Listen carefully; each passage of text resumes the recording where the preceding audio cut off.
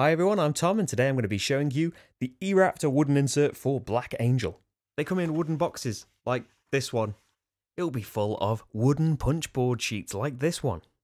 And instructions just like these. Well, if you got the Black Angel one, exactly like these.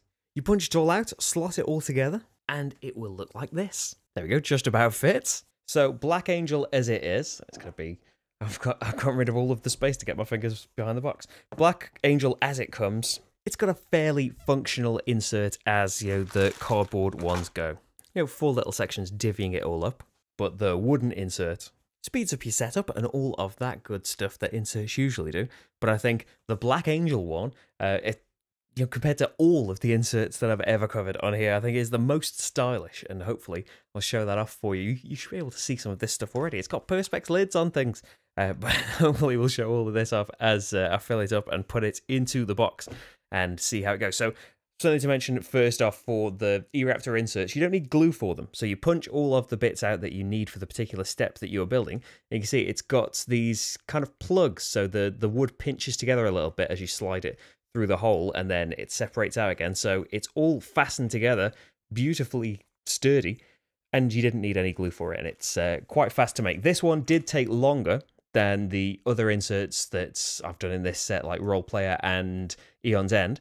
They are, you know, functional inserts and were quite fast to build. But the extra style of this, like the curved sides here, if you saw my video about the general accessories about the the dice towers that I did for eRaptor, eRaptor do a furnace dice tower that's like the furnace in Home Alone. Well, maybe that's just me, uh, but uh, that dice the dice tray that I did there had these curved walls, and you, they do this by you know kind of intricate cutting into the wood here. Hopefully that's uh, focusing all nicely on it. So it bends very well. You do have to be careful. Uh, not not massively delicate with it, but yeah, don't don't be just punching it out uh, willy nilly and bending it roughly. I did put a little tear in the dice tray when I did that, so I was very careful when I put these together. But it's how you have these uh, lovely curved pieces and you know stylized things like this. So let's put it together.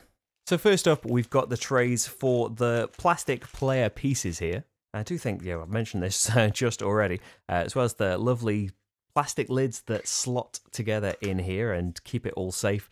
It's got a lovely style to it, which works really well with uh, Black Angel. Ian O'Toole always does an incredible job at his graphic design. So your pieces all go in this main section here, and then your discs go into these little slots and it all fits in beautifully like that. If you tilt it backwards to show the camera, things might roll a little bit.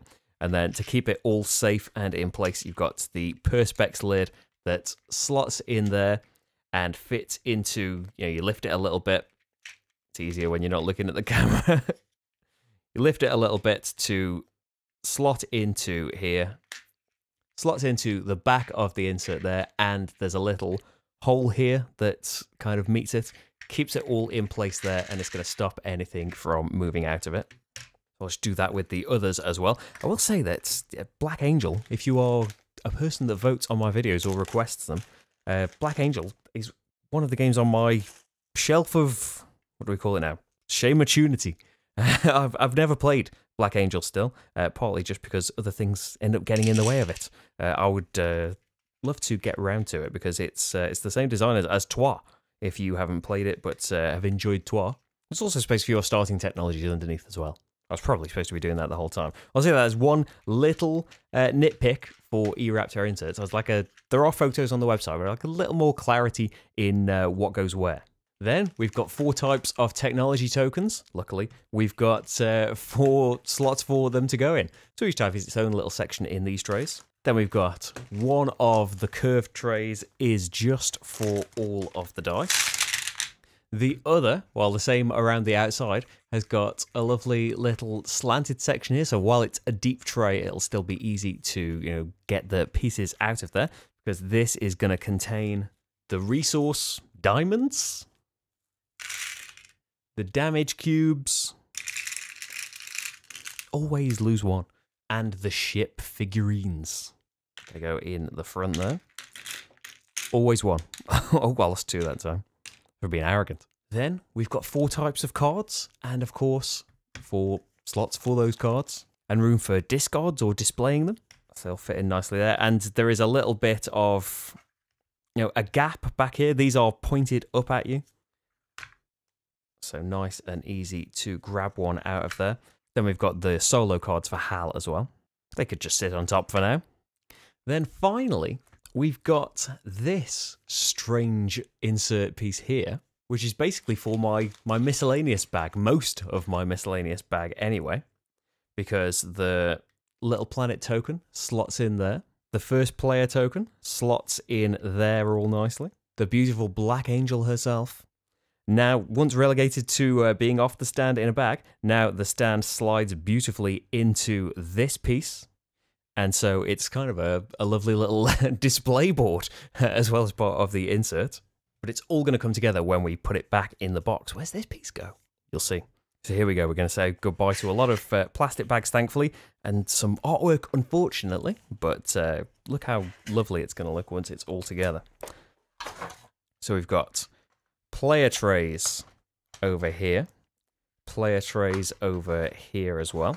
In the middle fits the card tray. Then on the outside of this, we've got the technology trays. It all fits in all nice and snug and can't move about. Then the planet tile that previously had no place, it slots into the card tray. Then this fits in here. The space strips that were all flattened out on the top and uh, next to each other have their own lovely little slot in space here. And then finally, we've got room for the dice and all of the other tokens. Then we want player boards over to the sides here. I've knocked the Black Angel off. I'm sorry, Black Angel. Please forgive me. But you see there's there's little cutouts in the card tray here to keep the player boards in place as well. And then the other two player boards go on this side. Then the board and the player aids and stuff just on top here. And it fits beautifully flush with the top. I don't know if you can really see that. Sorry, player aids. Bye. I'll show you anyway. Lid. Here we go. Fits absolutely perfectly flush on top. And all of those pieces that are rattling around should be kept in check by all of the boards that are on top of them. So there you have it. The eRaptor wooden insert for Black Angel. I do love these inserts for board games, you know, improving setup time, very functional. You know, wooden inserts add a little bit of weight, but it's not a very big deal in this one at all. You know, I do think that about all of the ones that I cover, but this one for Black Angel in particular, I think, as well as, you know, function with all of these uh, beautiful slots for it and thinking about, you know, if you were storing it vertically, all of these boards hold everything in place and the lovely Perspex lids to keep your robots in check and stuff. But I think it just, you know, going well with the game as well because the game looks incredibly stylish. I think that the insert is incredibly stylish as well, which isn't something I can really say for a lot of board game inserts because, well, that's not their purpose, is it? But I think the Black Angel one goes to show that there's no reason why they can't also be beautiful as well as functional.